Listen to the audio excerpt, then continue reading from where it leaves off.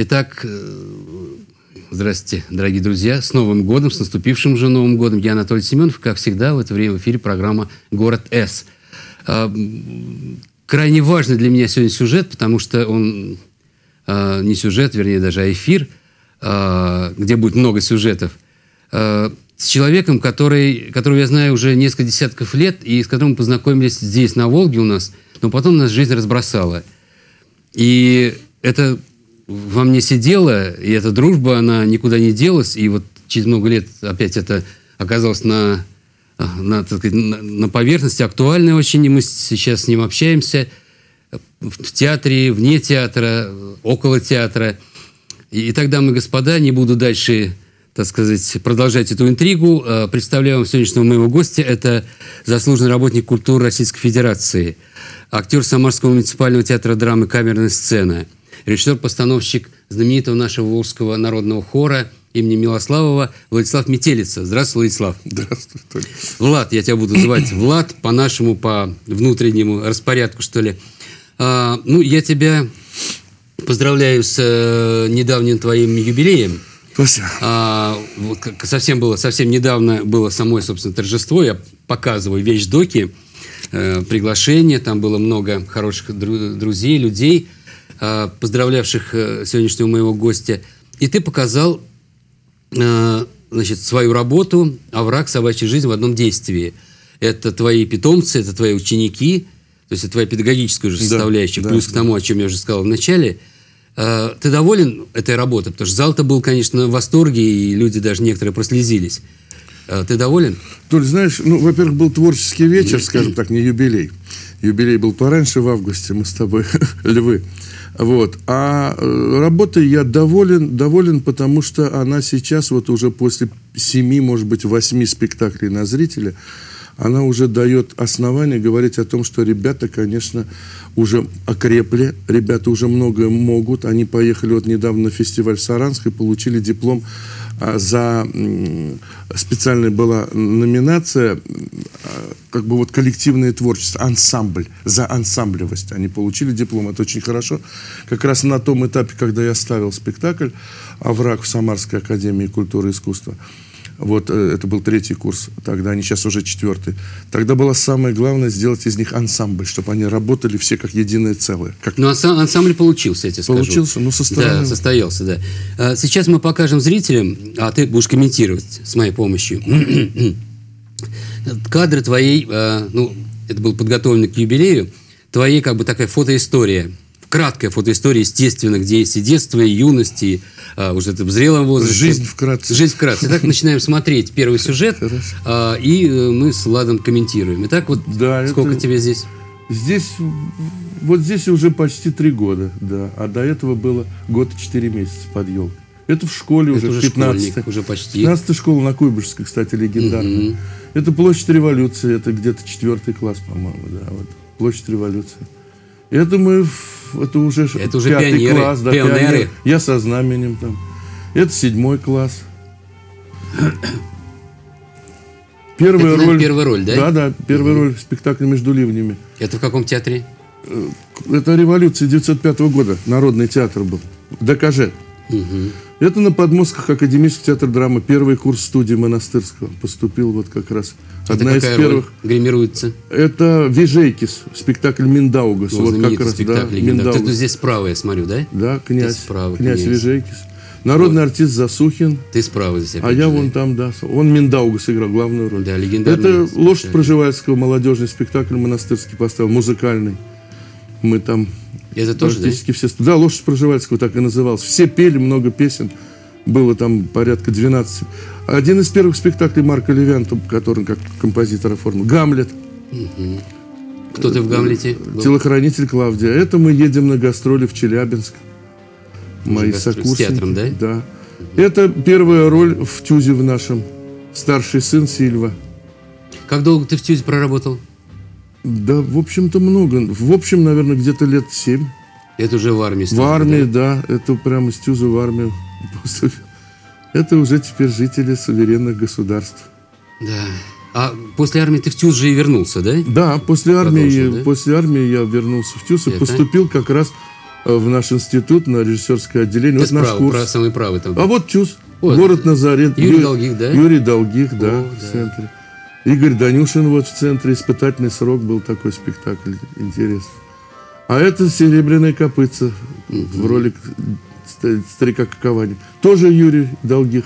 Ты выдержал Юрия Ну, Долгих да, на он- плече, да? да. Он легенький? Выживатов, беспреданница, тоже наш самарский тюз. Сейчас он Самарт.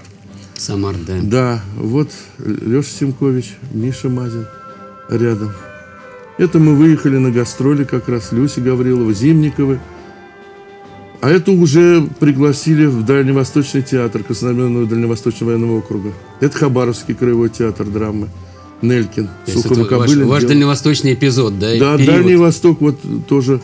Это я Форда играю, Вензорские проказницы, Хабаровский краевой театр драмы. Как долго проработали на Дальнем Востоке? Пять лет. О, солидный кусок пять тоже, лет. да. Да, это вот выбор, сложная очень роль. В 29 лет играл человек, которому больше 60, Рамзина. Хорошо, значит, э, вот уже перед нами буквально тут за две с половиной минуты пробежала от самого раннего детства до, до Дальнего Востока. Э, и, э, вот в этом э, середине этого куска большого жизненного, да, как раз мы с тобой познакомились. Это было на берегу реки, это было в Шерехмете, Да. у костра. Мы всю ночь пропели песни тогда популярные. Вот, может быть, что-нибудь мы с тобой пару аккордов сейчас. как рояль в кустах. Хотя бы одну какую-нибудь давай. То, что, может быть, соответствует переходу. Призрачно все в этом мире бушующем Есть только миг, за него и держись Есть только миг между прошлым и будущим Именно он называется жизнь. Вот тогда была любимая наша песня. Это считался такой фильм удивительный. «Земля Санникова», Санникова». да. Такие песни. Замечательный совершенно актер. Естественно, нам хотелось петь у костра то, что мы видели э, на экране телевизора. Ну, вот у меня вот такое, э, опять же, предложение. Сейчас буквально без, э, без всяких затяжек. Переход опять к вот истории жизни. Уже это сейчас тут будут появляться знаменитые режиссеры рядом с тобой э, всемирно и э, всесоюзно. А, Давай сейчас смотрим и комментируем, продолжаем комментировать. Хорошо. Смотрим. Это Ялта. Мы поехали Альбицкая, отдыхать. да? Люба Альбицкая на переднем плане, да. Игорь же не- Владимиров О. вот с моей женой Натальей Метелицей. Игорь Владимиров, Игорь Владимиров, да. режиссер-легенда. Легенда. Все время с книжкой ходил только. Все время с книжкой, все время что-то читал, все время. Это мы тоже вот... Не Товстоногов отдых- на заднем плане? Вот. На заднем плане Георгий Александрович Товстоногов. Какие Да. Это э, Академический театр драмы, встреча с героем Афганистана. Тоже все знакомые. Да. Гастроли в Санкт-Петербурге, Ванечка Морозов, Морозов, да, Вукерт, да. Саянов, я. Дерево, видишь, какое большое. Это я с моим э, Сенечкой Стругачевым, мы все время вместе с ним в гримерке в нашей сидели. Были съемки какого-то фильма, я сейчас уже честно не помню. Знакомых артистов здесь много видно. Это проба на Ленфильма тоже пробовался в какой-то фильм, не знаю. Сейчас тяжело вспомнить. Вот это что Воланд, такое? мастер и Маргарита, это Ярославль. А, Ярославский Да, театр, да? Ярославский театр, мастер и Это Маргарита. театр, который Пуски Палец возглавил потом много лет спустя. да? Вот смотрите, тоже мастер и Маргарита. Это нет, это, это сам э, Тюс. Тюс. Ага. Это я уже директор Вологодского государственного ордена знак почета драмтеатра. Это что церемония? Фестиваль открытия фестиваля «Голоса истории» нам вручают памятные картины. А это мне вручают приз как режиссер-постановщик спектакля «Ярослав Мудрый». Прям в Кремле все это было. Лолита Милявская приезжала, это вот мы с ней дуэтом исполняем песню «Императрица». Это мой курс э, ГИТИСа при Вологодском драмтеатре. Единственный был курс, вот выпустил я. То есть ты педагогикой начал давно заниматься, собственно говоря? Я да? там был как директор в основном. Вот выступаю на 150-летие театра Вологодского. Нам вручают э, призы международные, Это которые... губернатор, наверное, да? Это мэр города. А, мэр, да? Да, Александр О. Калягин. Сан Саныч. Союз театральных деятелей, да. Поздравляет. Там вдалеке труппа. Это руководство Вологодского государственного ордена знак почета драмтеатра. Мы так... Вот Вологда сразу видно красиво. Да. А это я уже директор Государственного Волжского русского народного хора. Мы Где едем на фестиваль, это Германия, в Берлине. А это уже во Франции, Реймс. О, по Реймсу, это в сторону Да. собора вы идете, Это наверное, мы да? идем, да, это дефиле. Бельгия, Брюссель. Вдалеке мальчик пишет. Мальчик известный. Известный Маленький мальчик, но маленький. Когда Сеня Стругачев приезжает, мы с ним все время встречаемся. Да, Тут тоже, недавно- тоже медийный, очень, очень медийный Да, персонаж. да, это мои одноклассники. Мгм. Ну, славно, славно. Вот мы как бы опять же вот продолжили такое знакомство с э, твоей жизнью, твоей историей. А сейчас мы переходим к твоей, твоим эпизодам, к ролям. Э, Я знаю, что вот на нынешнем, э, на ны- в нынешнем театре, это Самарский муниципальный театр драмы «Каменная сцена», ты уже 8 лет проработал. Да. И, в принципе, я считаю, по-чемпионски, потому что за 8 лет 8 ролей. Ну Это одна роль в год. Это, это очень немало, кстати, очень немало. По Если нынешним учесть временам- еще только, что молодежный театр, и берется репертуар в основном молодые работают. то, ну, да, нормально, я... Ну, здорово. Смотри, вот мы как бы уже услышали тебя живьем здесь, а сейчас эпизод будет из спектакля изумительного, но я там сознательно совершенно взял э, фрагмент, где ты со сцены, твой герой со сцены поет песню очень хорошую. Смотрим, слушаем. Какая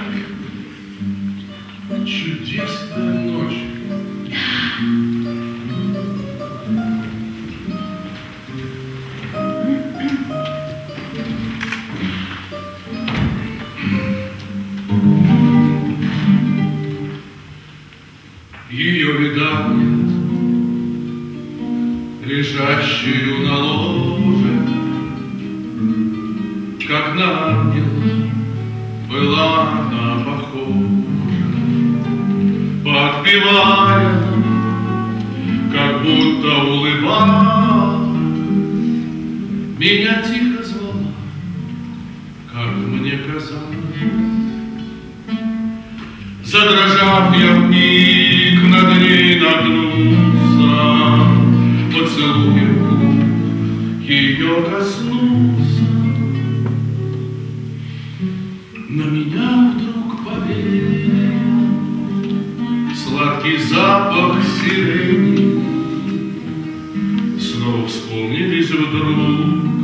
Дни былой любви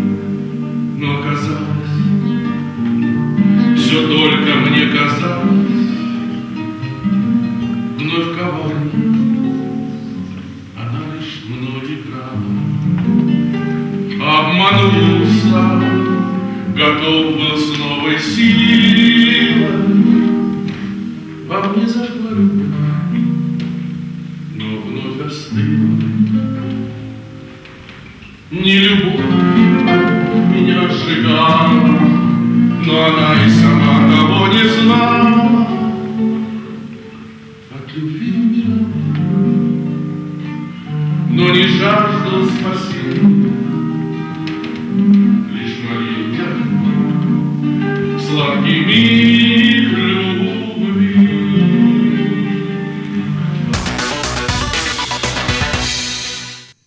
Итак, спектакль э, «Натали» по Ивану Бунину, где мой сегодняшний и любимый гость э, играет Черкасова.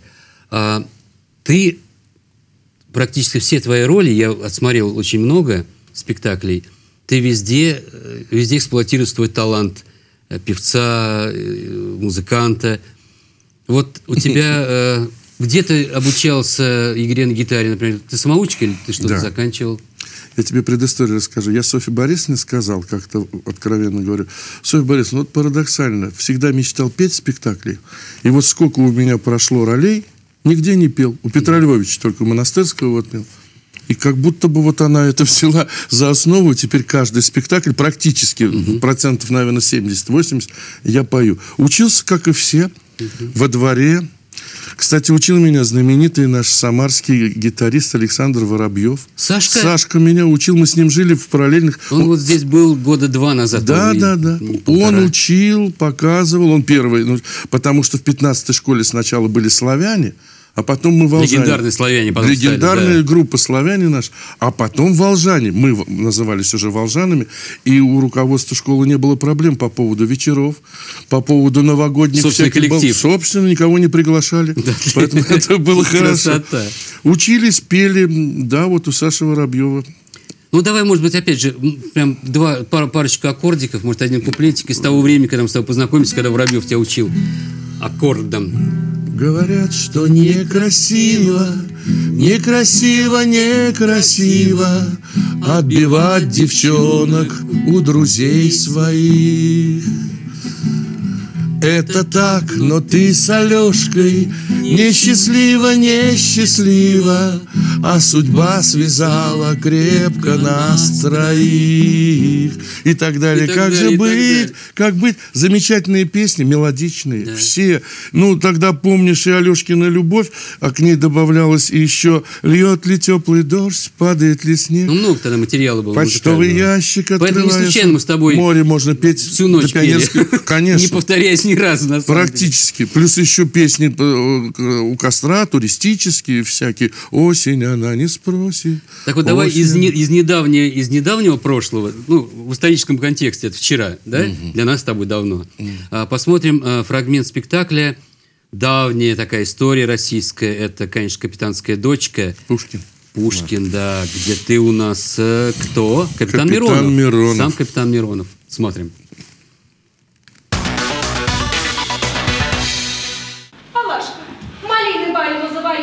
Хочу я малину. Мне настойка лучше помогает. Я под шведа, под турку ходил.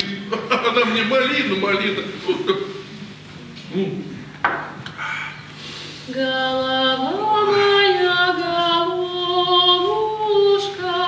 Голова моя служивая, послужила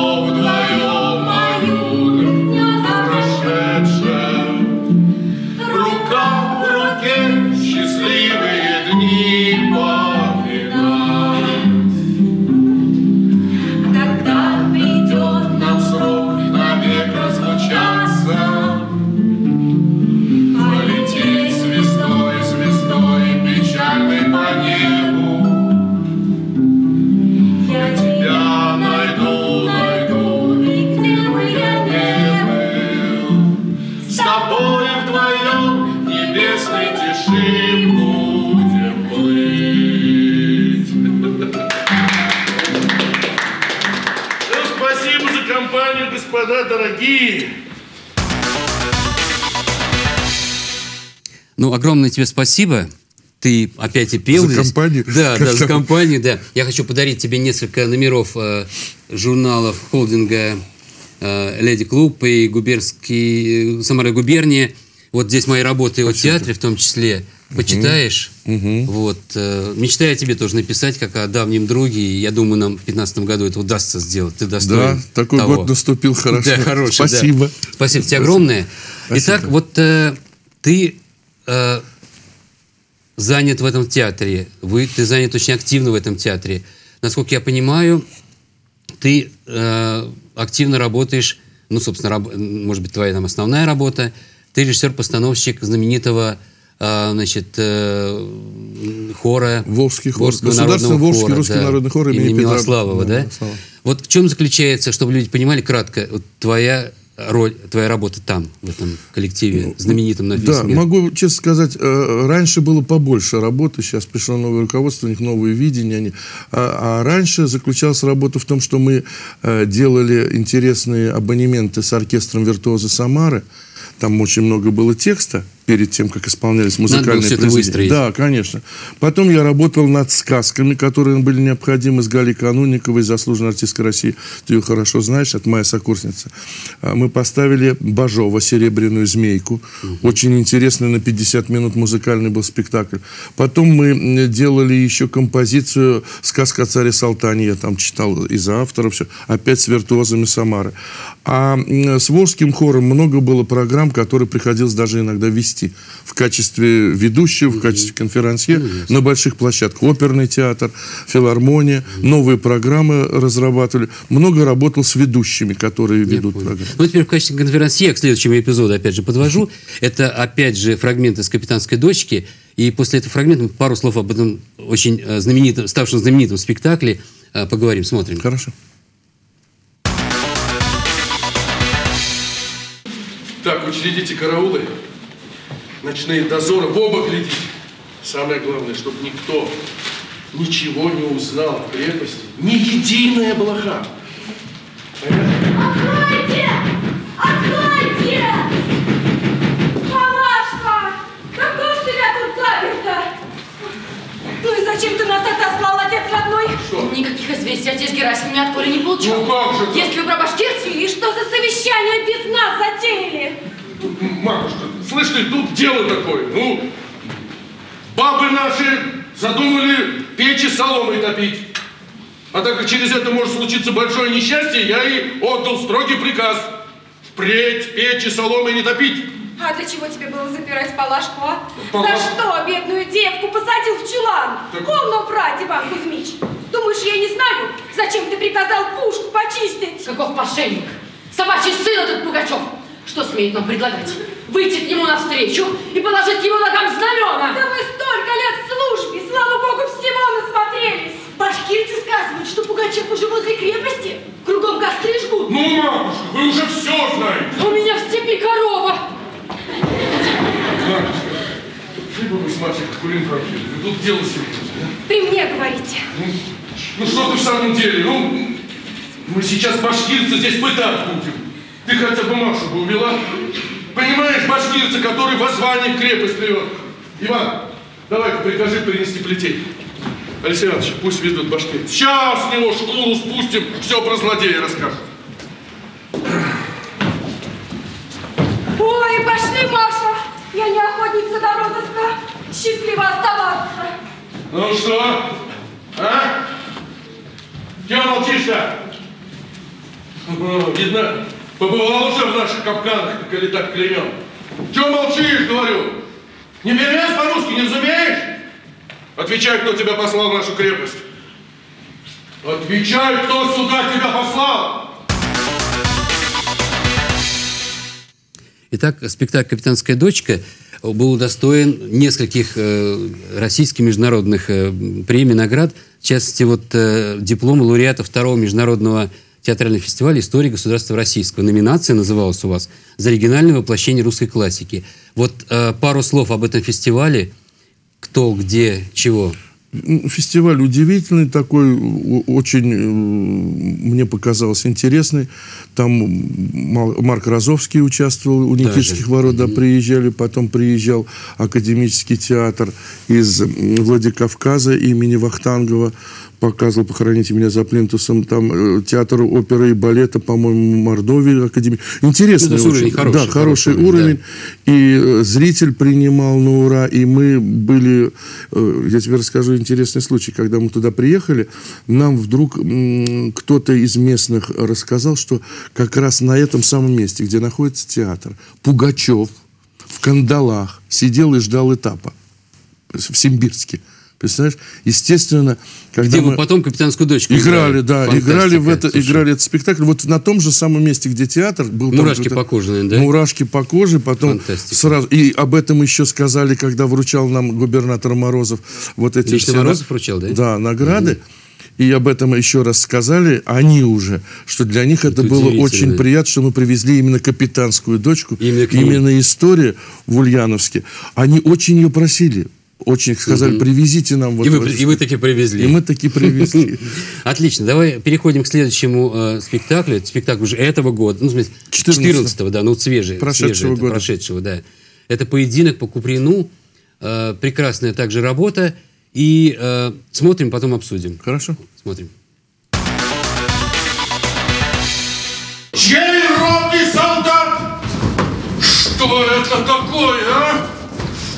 Я тебя спрашиваю, кто ты какой?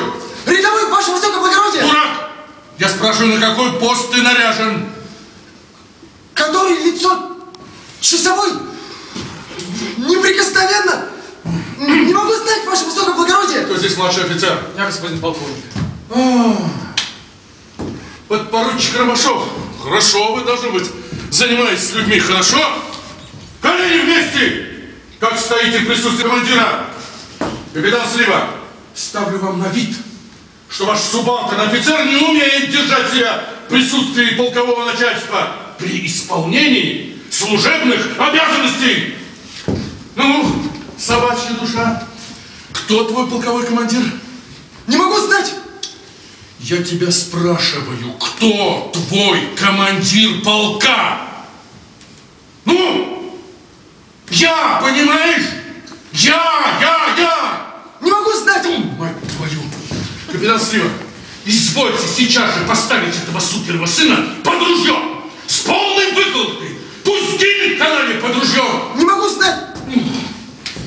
А вы, подпоручик, вы, подпоручик, все больше за бабьими хвостами следите, чем за службой, да?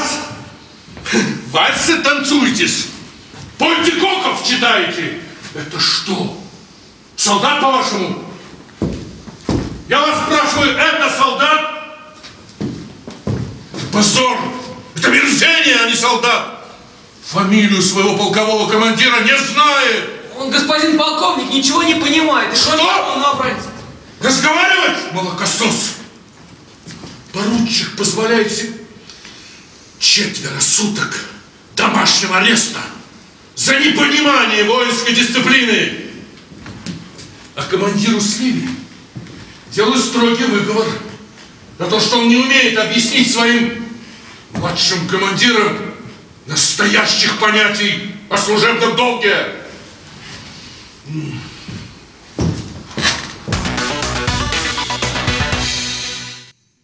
Еще раз спасибо тебе, в том числе за эту свежую работу 2014 года.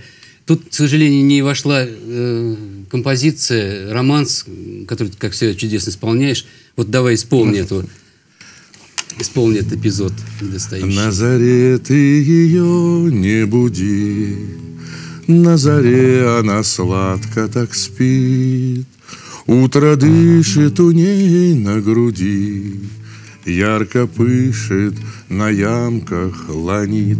Я исполняю там один куплет, когда говорю ему о том, что мы же с тобой пензенские. А пензенский народ певучий. Певучий. И вот этот вот куплетик я пою а, небольшой. А потом это идет лейтмотивом всего второго акта. Вот именно это. Именно это, да. Именно, да, эта песня. Ее поют ребята уже, когда у них пикник офицерский. И потом, и потом все время идет лейтмотив песни «Назарет ее не будет». Ну, чудесно. Я считаю, вот в музыкальном смысле такой идеальный финал нашей передачи сегодняшней. Владислав, я тебе благодарен за нашу с тобой дружбу многолетнюю. Тебе здоровья, счастья, процветания твоей семье, твоей милой супруге, твоему сыну. А, Спасибо. Как можно больше хороших, удачных работ на театре. Я тоже хочу тебя поблагодарить, во-первых, что наконец свершилась передача. А, Пожелать в этом наступившем году тебе здоровья, счастья, всего наилучшего. Мы теперь будем, я думаю, контачить плотно. Хочется также зрителей поздравить с наступившим Новым годом, 15-м. Я думаю, что должны быть хорошие перемены. Дай Бог. Дай Бог, чтобы дай они Бог. были, да. Ну, от нас тоже зависит, конечно, очень много. Конечно. Надо понимать это. Конечно, но мы люди творческие, публичные. Я напоминаю, что в гостях, спасибо тебе, Владислав. Напоминаю, Спасибо. что в гостях сегодня у нас был Владислав Метелец, заслуженный работник культуры Российской Федерации, актер, режиссер и вообще талантливый певец, музыкант и прекрасный человек. Всем счастья, процветания в наступившем году. Счастья. Ура, ура, ура. Годом.